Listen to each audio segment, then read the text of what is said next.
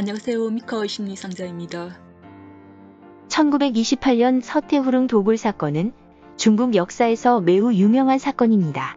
당시에 난립해 있던 군벌 중 하나가 폭약을 사용하여 견고하게 축조된 능입구를 뚫고 들어가 시신을 훼손하고 부장품을 털었습니다.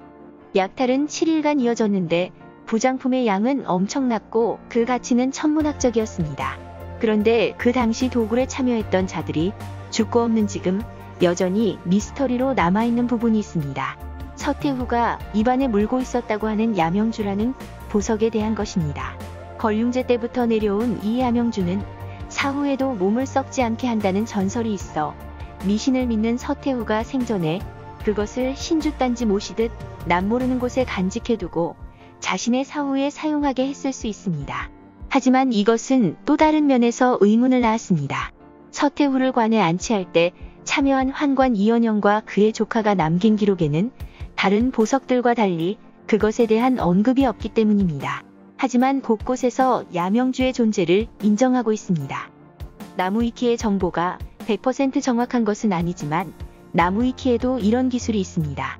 야명주는 고전 소설이나 무협 소설에 자주 등장하기 때문에 상상의 산물로 여겨지나 놀랍게도 실존하는 것이며 중국 황실에서도 귀하게 여겨진 보물이었다. 실제 가까운 시대에는 중화민국 초의 군벌이었던 순갱인이 막대한 부장품을 노리고 서태후가 매장된 정동능을 도굴했을 때 서태후의 입에 있던 야명주를 꺼내기 위해 시체의 칼질을 하기도 했다. 일면에서 능을 약탈한 방법이 쇼킹했던 이 사건의 전모는 이렇습니다. 서태후의 무덤을 도굴하니는 도굴장군으로 악명 높은 순대닝이라는 군벌이었습니다.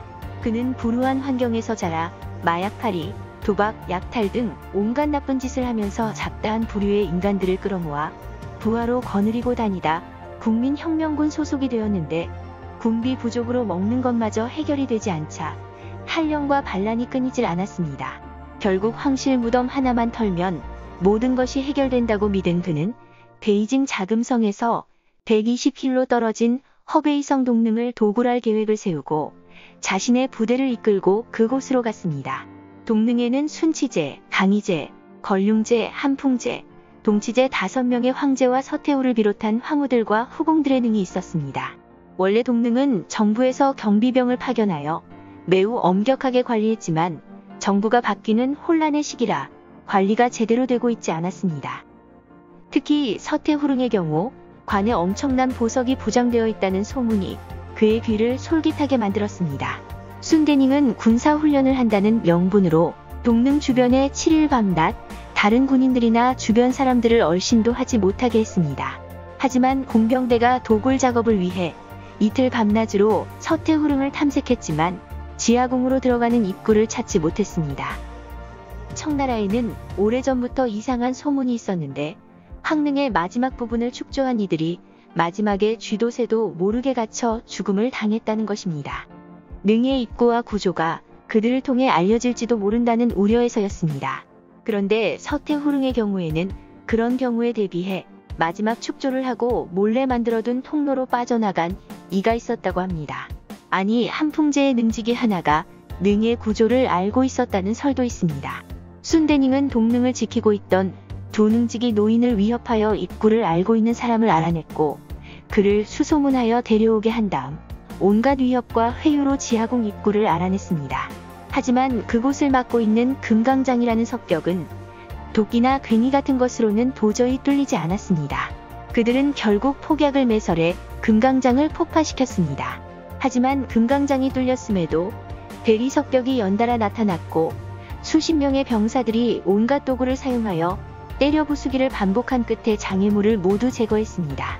병사들은 서태후의 관이 있는 지하궁에 도달하여 도끼와 총검으로 관을 열었습니다. 서태후의 관에는 알려진 것처럼 사망한 지 20년이 된 시신과 그것과 대조적으로 여전히 빛을 내는 많은 보석들이 있었습니다. 심지어 서태후의 입에서도 빛이 새어나왔는데 야명주라는 보석에서 나온 것이었습니다.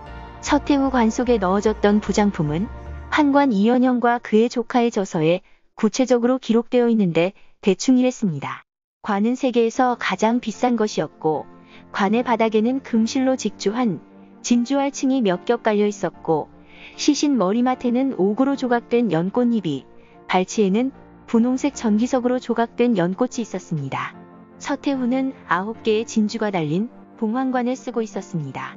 그리고 금과 옥으로 만들어진 27점의 부처상, 양쪽으로 에메랄드 조각품들, 발치에는 옥과 비취로 만들어진 수박들이 있었고 sweet melon들, 그리고 옥으로 조각된 유명한 배추 조각품이 있었습니다. 게다가 보석으로 만들어진 200점이 넘는 복숭아, 자두, 살구, 배추가 있었고 오른쪽에는 옥으로 만들어진 coral tree가 있었습니다. 또 옥으로 만들어진 말이 8점, 옥으로 만들어진 아라한이 18점 등 모두 합하면 700여 점이 넘었습니다. 그 위로 4리터의 진주와 2200개의 보석들이 관속으로 부어져 있었습니다. 서태후의 관은 이 모든 것이 들어갈 정도로 컸습니다. 서태후 머리에 봉황관에 달린 진주 9개 중에서 8개는 보통이고 하나는 매우 굵은 것이었다고 합니다. 그리고 가장 유명한 것은 서태후가 입안에 물고 있었다는 야명주입니다. 그들은 서태후의 입속에 있는 야명주를 빼려고 했지만 잘 빠지지 않아 결국 시신을 훼손하여 꺼냈다고 합니다. 야명주는 야밤에도 백보 안에 있는 사람의 머리카락을 비춰준다는 전설 속의 보석이었습니다. 야명주에서 나오는 빛의 정체는 바로 돌 속에 들어있는 극소량의 방사성 원소로 인해서임을 현대 과학이 밝혔지만 과학이 발달하지 않았던 시절에는 말 그대로 신비의 돌이었습니다. 특히 서태후의 입에서 나온 것은 두 조각으로 분리된 것이었는데 결합시키면 미묘한 녹색빛을 방출하여 주위를 환하게 했고 분리시키면 마법처럼 사라졌다고 합니다. 그것의 기원은 인도 무굴 제국의 한 왕이 자신이 사랑한 에게 주기 위해 슈퍼 다이아몬드 원석으로 만들었다는 전설이 있는 것으로 불가사의하게 인도에서 사라진 후에 영국을 통해 걸륭제 제위 25년이 되던 1760년 걸륭제의 손에 들어갔고 그것이 대대손손 이어져 서태후까지 내려왔습니다. 참고로 도굴범들은 서태후릉에 이어 걸륭제릉, 강희제릉까지 도굴을 시도한 끝에 걸륭제릉은 성공했고 강희제릉은 실패했습니다. 도굴된 부장품은 수십 상자에 이르며 30대에 탈 것으로 실어날랐다고 합니다.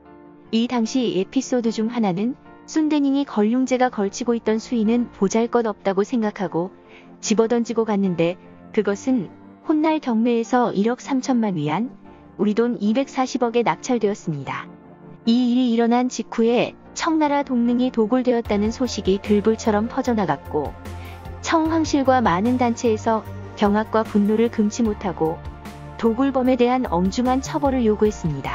하지만 순대닝은 장제스의 군사정보국장 다이리를 통해 많은 보물을 상당수에게 살포했고 결국 처벌을 면했습니다. 잘 알려진 것만 언급하면 숭조원 중화민국 정치인에게는 에메랄드 수박을, 다이카사에게는 가장 굵은 진주구슬 두 개를, 옌시산에게는 많은 금을, 허잉친에게는 검을 주었고 장제스에게 걸륭제의 구룡검을, 장제스의 아내인 숭메이링에게 야명주를 다이리를 통해 전달했다고 합니다. 순대닝은 국공내전 중 공산군과 싸우다 포로로 잡혔고 1947년 병사했습니다. 야명주의 행방은 이후에도 대중의 관심사였는데 그것을 받았다고 하는 숭메이링에게 사람들의 시선이 쏠렸습니다.